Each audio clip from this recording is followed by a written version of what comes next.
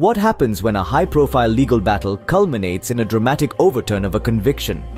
Today, we delve into the intriguing case of Sandeep Lamichhane, a name that resonates not just in the corridors of cricket, but also in the judicial annals of Nepal.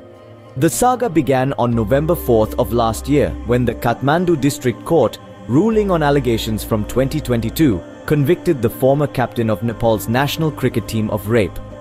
The court sentenced Lamichhane to eight years in prison and imposed a hefty fine of half a million rupees, partly as compensation to the victim. However, the wheels of justice spun again as both Lamichhane and the district attorney's office moved the Patan High Court, challenging the district court's verdict. The case took a significant turn on January 12th when a division bench comprising judges Dhruva Rajnanda and Ramesh Dahal granted Lamichhane bail.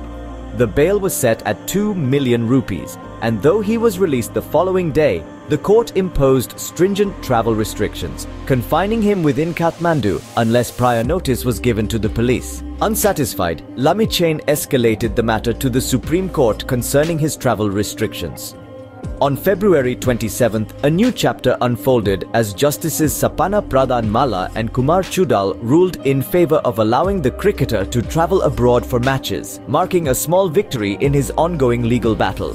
The climax of this legal drama occurred just today as a division bench of the Patan High Court, led by judges Surya Darshan Dev Bhatta and Anju Uprety Dhakal, acquitted Lamichhane. The court's spokesperson, Tirtharaj Bhattarai, announced that the decision was overturned due to a lack of evidence, thus freeing Lamichhane from the charges that had clouded his career and personal life.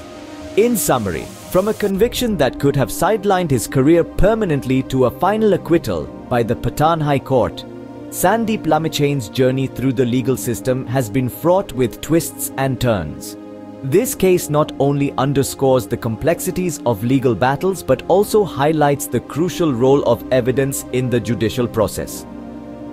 Today, Lamichhane walks free, his path cleared to once again embrace the cricket field and his life beyond.